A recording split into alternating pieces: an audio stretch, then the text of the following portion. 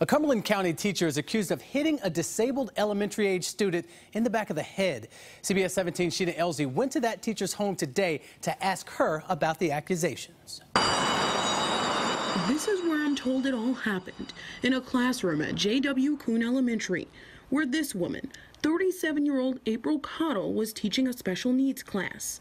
But according to court documents, when the janitor walked past the classroom, there was only one student there a 10 year old disabled student who normally wears a helmet.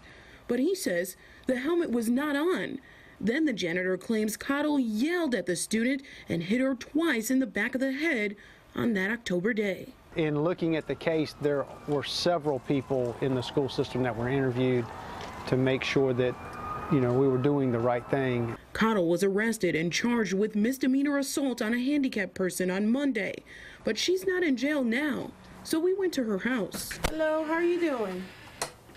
Are you April? No. Cottle's mom answered the door and told me she didn't want to talk about it. Talk to the lawyer. But court records show she told investigators, quote, I'm going to lose my job or worse. In a statement, the Cumberland County School District says she's now suspended with pay and has been since it happened back in October. It seems to be a trending thing that's happening. Um, I don't know if we're having younger teachers with less patience.